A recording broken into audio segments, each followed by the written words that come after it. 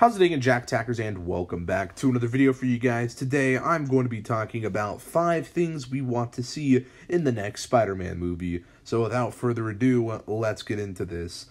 Starting off with number five, I think we can all agree that we want to see more personal consequences that Peter has to deal with, and the mid-credit scene of Spider-Man Far From Home sets this up perfectly in my opinion.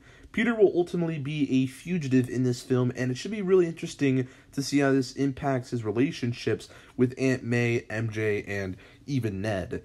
Peter is going to have to toughen up and try and fix the mess he's in. At number four, I have The Chameleon. Now, this is an interesting one, mainly because he was heavily rumored to be in Spider Man Far From Home, yet we never actually got to see him make an appearance.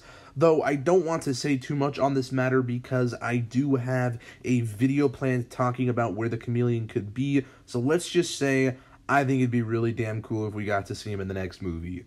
Coming in at number three, which is somewhat of an unlikely one, that being the symbiote. I'm not entirely sure if they would want to have another Spider Man 3 with a symbiote in it, but think about how cool it would be. Now that Peter is pretty much a fugitive, what if the symbiote continues to make Peter do bad things, which makes him an even bigger target?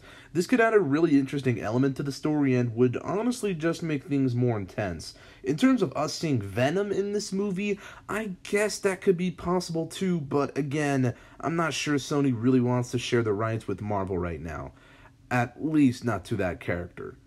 At number two, I have Daredevil. Yes, now I know some of you may be thinking this is really unlikely to happen, but it actually might not be.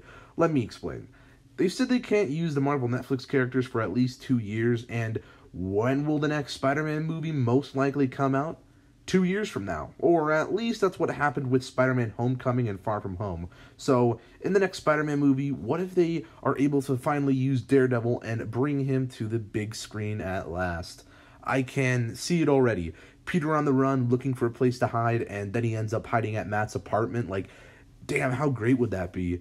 Now, at number one, I have the conclusion of the trilogy. What do I mean by this? Well, I think this will probably be the last movie of MCU Spider Man, mainly because we don't know if Sony wants to continue sharing the character with Marvel.